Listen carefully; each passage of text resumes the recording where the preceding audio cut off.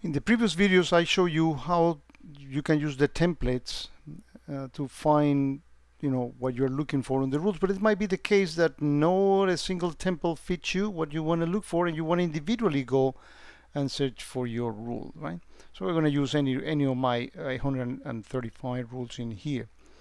And for that you use the powerful filters on the left. So when you click here on find filter uh, there are so very many filters that you can actually search for one in here. For example, if we want to look for the one that we see there, down there, creation date. So you type here creation date, and notice that this is it's actually not not uh, case sensitive, but you find that uh, filter right there, right? Uh, and, but you can also look for the rules, or we're going to be playing with this rule, devices with high event rate. So if I put here devices with high uh, event rate.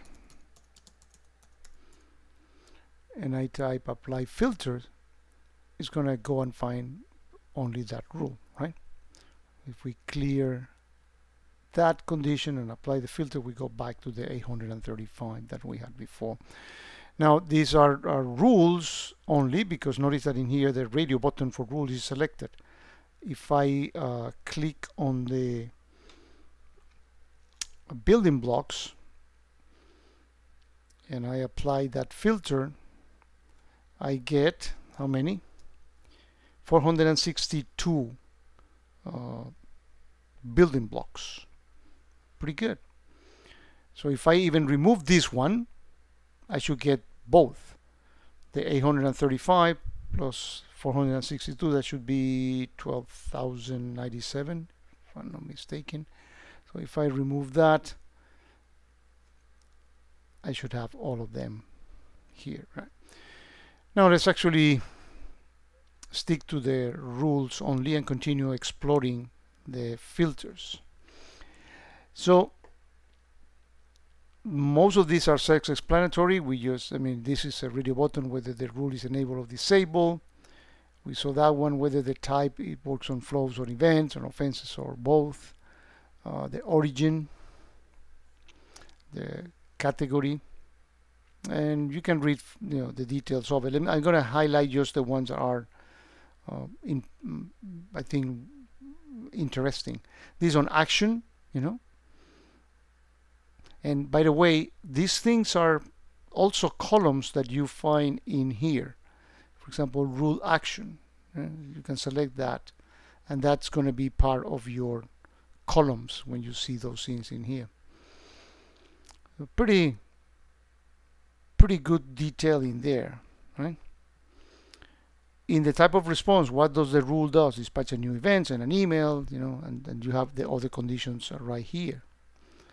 Creation day and modification day is a lot easier to find. Well, when is it that I modified a rule? Is between this date and that date, and you can go there by notes. It's actually very encouraging that, that people use notes. So as you see all the rules, when you look at the details of the rule, you get that information. Here the, the rule is disabled. And here, let's say that I, I'm going to copy this text, put on the clipboard. Notice in here that also the rules specify whether they work on the local system, right?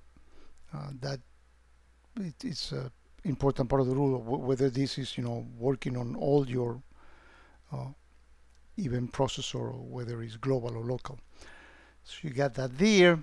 But if I'm looking for this for a rule that contains this text in here let me actually close this. And if out of all the rules I put here that condition apply the filter and I should find only that rule unless another rule has that that same text which is not in this case Okay, so we can clear that and continue exploring the filters. Uh, you can look in the test definition. Let's say that, uh, let's go back to that particular rule and we want to look for, you know, you know, part of this, uh, of this particular rule so let's say that we are looking for that condition so we paste that one in here and that should find that rule and any other that has that. Only this one has it there. So let's continue on. Log sources type. You have all the log sources typed in here. Now, and you'll see that this this uh, gain relevance with another filters that I'm going to show you uh, there. Here on the log sources, because they can be so very many, even in my demo system I have 247, you have in this uh, filter group, you have uh, a section in which you can actually search. Let's say I'm searching for everything that is, uh, what, uh, ACS, right? So you, you, you, you find those right there. So you can easily find it by that uh, context, right? Now, on domains, if you are working with multiple domains, you will have in here, it will show up all the domains, you can search rules that are specific to a particular uh, domain, right? Now, other tests that you you have in here, well, you can test whether you know, and and when the nice thing is that when you hover, it shows you the the type of condition that that you are including, the test condition that you are included in your rules. And by the way, in case that you're not familiar, these are the test conditions. The one after that these apply, you can have multiple in here, and everyone gets evaluated. When all of them gives uh, true, then th that rule uh, fires. Now, there are two filters that are very interesting that I want to mention. But before that, let me complete this with the content extension. These are the apps that exist in the App Exchange and the uh, App Exchange name. So notice that I have 37 in here. And you have a bunch of categories for those applications, right? But this filter is one of the two that are very remarkable. This one is say, well, let's say I'm gonna actually apply that filter to get them all.